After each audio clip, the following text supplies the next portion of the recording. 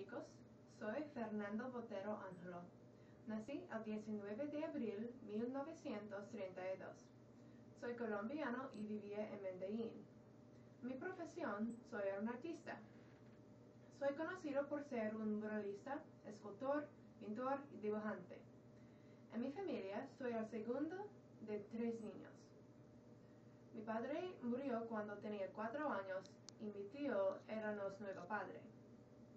Él me envió a la escuela jesuitas y una escuela para ser un matador. Yo estaba influido por el estilo de barroco. Antes de fui un artista, yo era un escenógrafo. Mi primera obra de arte estaba en un taller en 1948. Por mis obras de arte, mi estilo se llama botarismo. Es parecido a Picasso porque es abstracto también.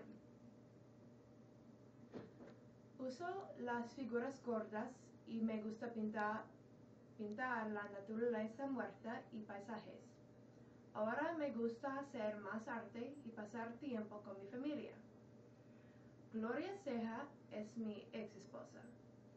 Tenemos tres hijos. Fernando, Lina y Juan Carlos Botero Sea. Una de mis esculturas famosas es Maternidad. La obra de arte es sobre el significado religioso de la maternidad. Me gusta la escultura porque tiene mi estilo favorito de arte. Tiene la gente gorda y es una naturaleza muerta. Aquí es la muerte de Pablo Escobar. Estuve inspirado del criminal famoso en Medellín. También me gusta mi, pintura porque yo usé mi estilo abstracto y la obra tiene el paisaje.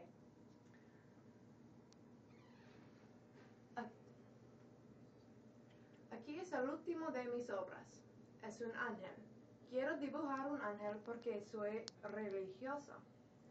Ella es gorda y parte de mi, parte de mi naturaleza muerta. Adiós chicos.